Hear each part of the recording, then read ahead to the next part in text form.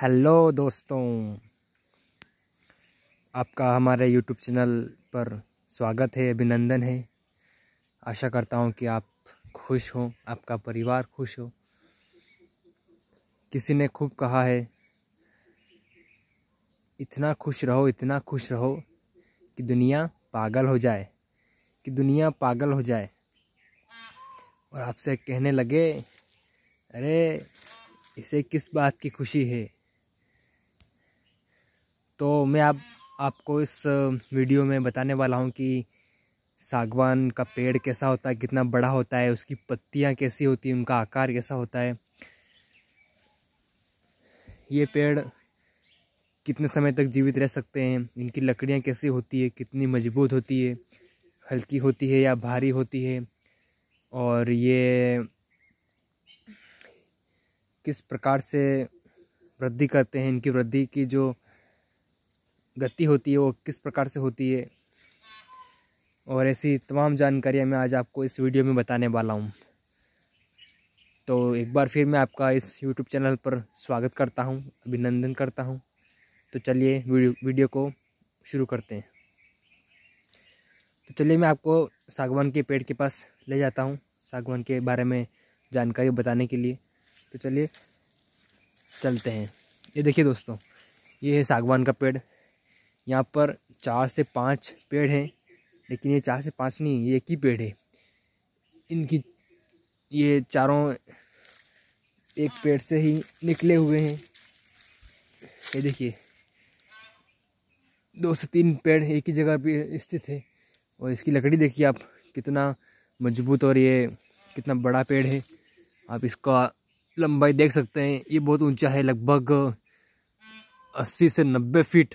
लंबा हो सकता है।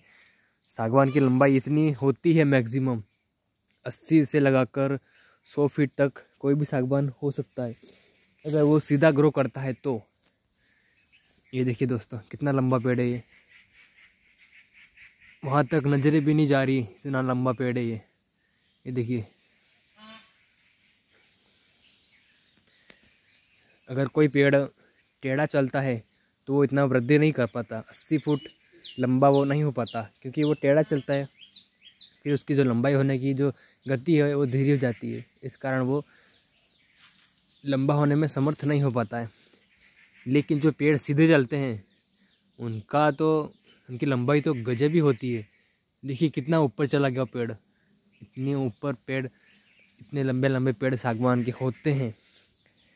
अगर आप इनकी लकड़ी की बात करें तो इनकी लकड़ी जो होती है इनका तना तो बहुत बड़ा होता है, मोटा होता है और इनकी लकड़ी मज़बूत होती है, हल्की होती है, मज़बूत होती है लेकिन हल्की होती है और इनकी जो लकड़ी बहुत समय तक टिकाऊ होती है। अगर आप इससे कुछ, कोई सामग्री बनाते हैं तो वो सामग्री बहुत अच्छे से कार्य करेगी, वो आसानी से टूटेगी नहीं नहीं आसानी से ख़राब होगी।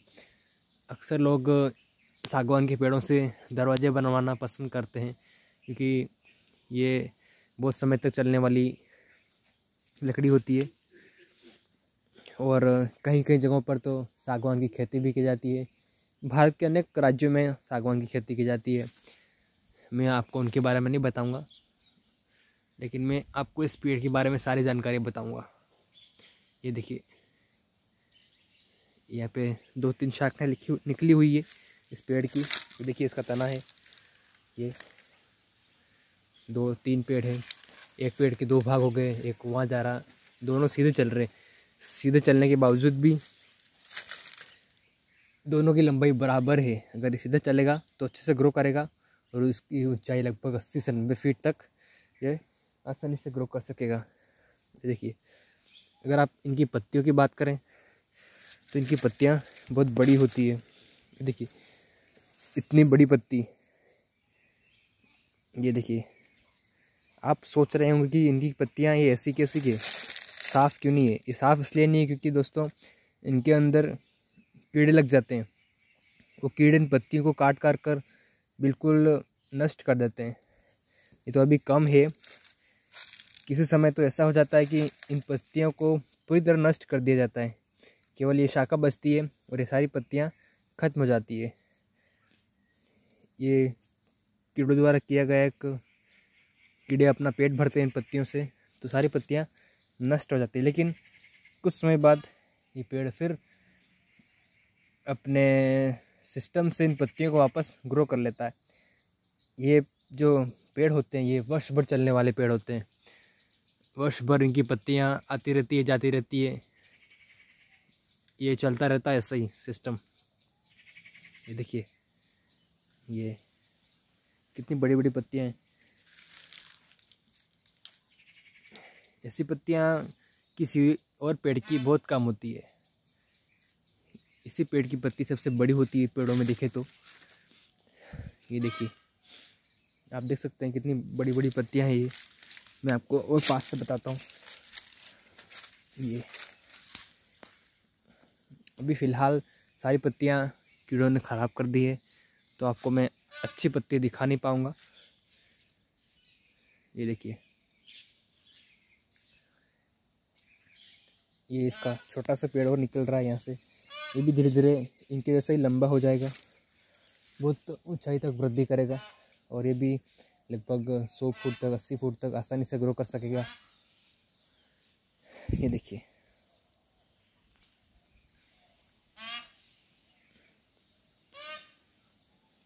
कितना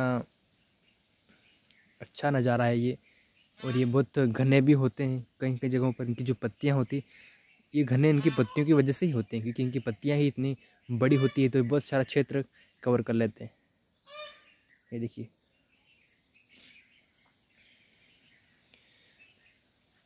अगर आप इसको हाथ से ऐसे इसकी जो कोशिका भित्ती होती है, उसको हटाने का प्रयास करेंगे तो अंदर से जो ये हरा हरा जो परत दिखाई दे रही है आपको। इससे पता चलता है कि ये पेड़ अभी इसका जीवन अभी चल रहा है। अगर आपको चेक करना है कि ये पेड़ मर चुका है या फिर चल रहा है तो आप ऐसे चेक कर सकते हैं आसानी से। अगर ये सूखा होगा तो इसके अंदर कोई भी ऐसा हरा पदार्थ नहीं होगा। मतलब हरा, हरी परत इसके अंदर नहीं दिखेगी। अगर ये पेड़ सूखा होगा तो देखिए, इनकी छाला भी बहुत मज़बूत होती है, इनको आसानी से हटा भी नहीं सकते। ये देखिए, हट भी नहीं रही है हाथों से तो। ये इसकी पत्ती है, ये देखिए, कीड़ों ने पत्ती का क्या हाल कर दिया। बिल्कुल तरह से इसको, उस तरह से ख़त्म कर दिया। कीड़े इन पत्तियों पर राज करते हैं। जब पत्ती सूख जाती है तो ऐसे दिखती है बिल्कुल। ये देखिए, सूखने के बाद भी ये आसानी से टूटती नहीं है। अगर इनकी पत्ती ही इतनी मज़बूत होती है तो सोचिए, पेड़ का तना कितना मज़बूत होगा, लकड़ी कितनी मज़बूत होगी। अगर आप इसको ऐसे तोड़ने का प्रयास करेंगे तो ये आसानी से टूटती भी नहीं है। ये देखिए, आसानी से टूटती भी नहीं है ये। इनको तोड़ने के लिए बहुत ताकत की ज़रूरत होती है। ये देखिए, इतना प्रयास करने के बाद भी ये टूटी नहीं है। सोचिए आप कितना मज़बूत पेड़ होगा ये।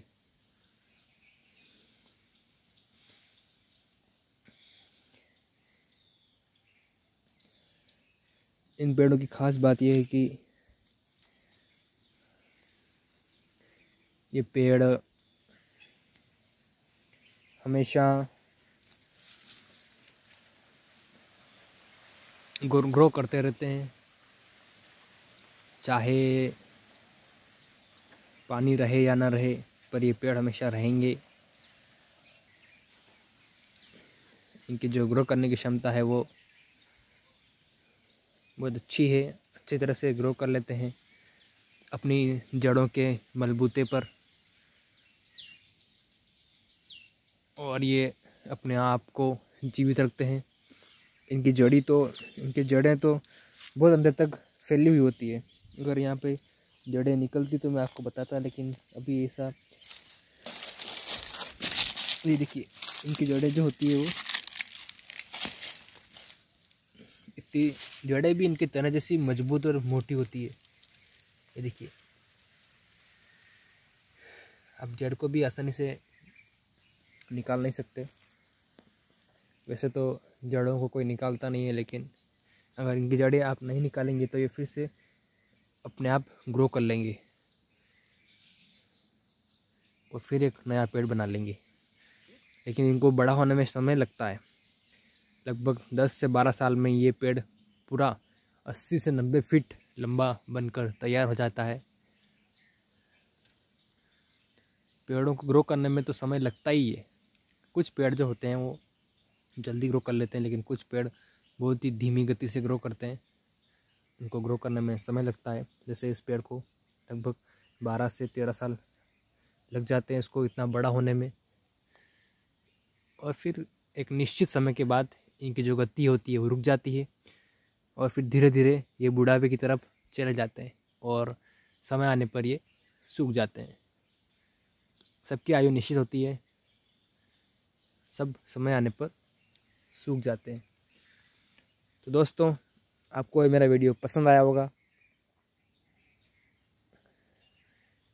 प्लीज़ लाइक और कमेंट्स कीजिएगा। अगर आपको कोई भी इससे संबंधित प्रश्न पूछना हो तो मैं आपका उत्तर देने के लिए हमेशा तत्पर रहूँगा। धन्यवाद दोस्तों, फिर मिलेंगे अगले वीडियो में किसी और पेड़ के साथ।